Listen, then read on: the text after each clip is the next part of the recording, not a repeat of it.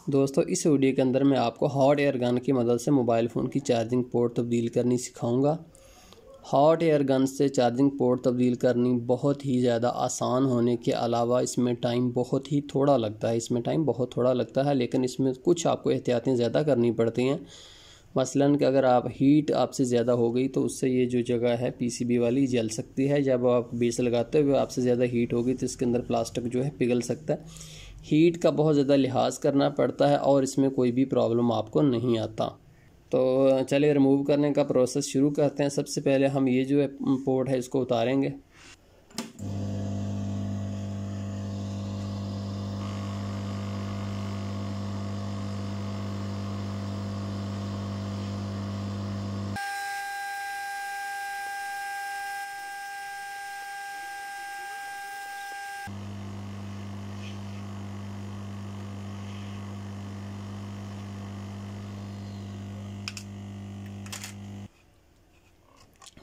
अब उसके बाद दोस्तों एक ब्रश के ऊपर आप एमबीसी डालकर इसकी अच्छे तरीके से सफ़ाई कीजिए।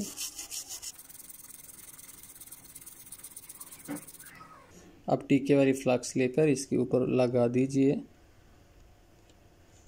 लीजिए, इतनी फ्लक्स काफ़ी है।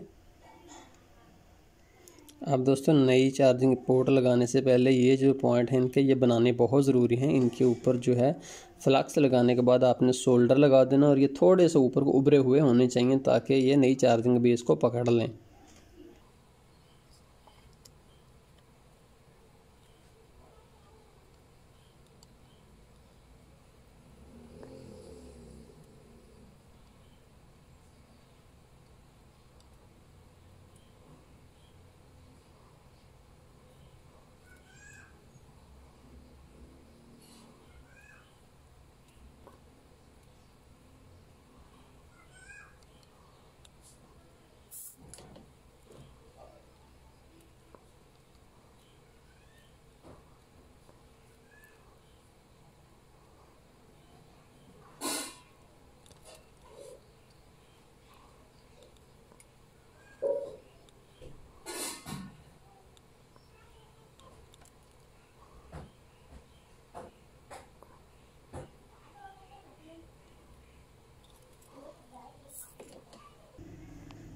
दोस्तों, ये हमारी नई चार्जिंग पोर्ट है।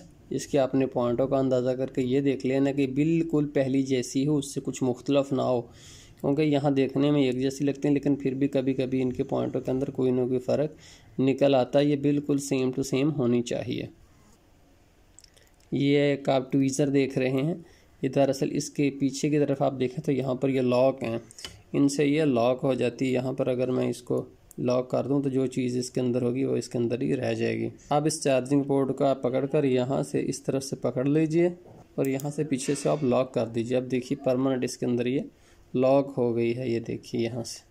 इसका फ़ायदा यह है कि हमें उस वक्त इसको पकड़ना ही नहीं ज़्यादा पड़ता। हम यहाँ से इतमान से ऐसे पकड़ लेते हैं, जैसे यहाँ पर आप देख रहे हैं कि मैंने पकड़ा हुआ है तो हम लगा सकते हैं। अब क्या करना है कि नाजिन इस जगह के ऊपर हमें हीट देते जाना जब ये सारा कुछ पिघल गया, इसमें सोल्डर पिघल गया, तब हम यहाँ पर इसको अंदर लगाने के बाद थोड़ा सा इस तरह से हिला देंगे। इस तरह से हिलाने का मकसद ये है कि सोल्डर और ये जो पॉइंट है, आपस में एक दूसरे को पकड़ लें। हॉट एयर गन का बटन हमने छोड़ दिया। अब हमें इसे थोड़ा सा गर्म होने देंगे पहले।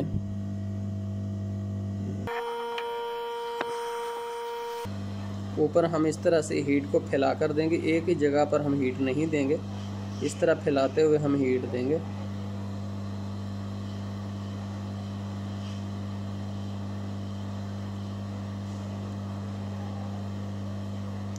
यहाँ पर हम देखते हैं कि क्या ये अपनी जगह ऊपर जाती है, नहीं जा रही है अभी ये।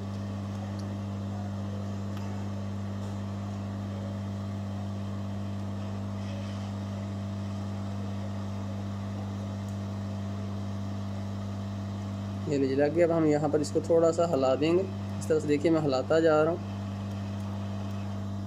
और अब मैं यहाँ पर हॉट एयर गन मैंने साइड पर कर दिया और इसको पॉइंट को यहाँ से मैंने दबा कर रखा हुआ है, कुछ देर के लिए।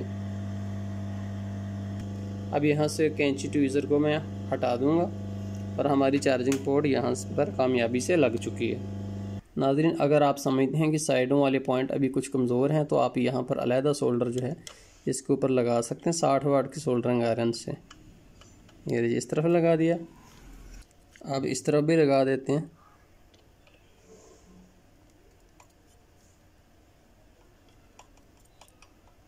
लीजिए। थोड़ा सा होल्डर लगाने के बाद मैं ऊपर से हिला देता हूँ ताकि वो उसके अंदर जज़ब हो जाए।